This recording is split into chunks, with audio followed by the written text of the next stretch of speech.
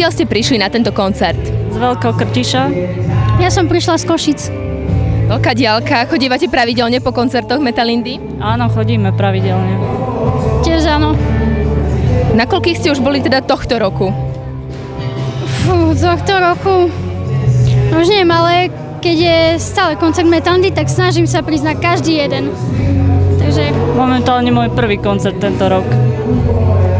A dá sa vám vďaka kvôli teda pracovným povinnostiam alebo školským povinnostiam? No mne sa veľmi nedá kvôli pracovným povinnostiam.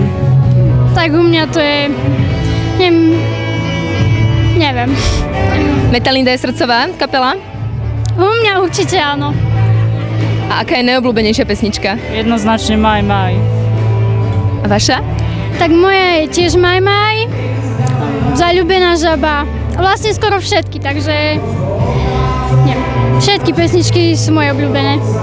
Ďakujeme veľmi pekne. A my ďakujeme. Ďakujem.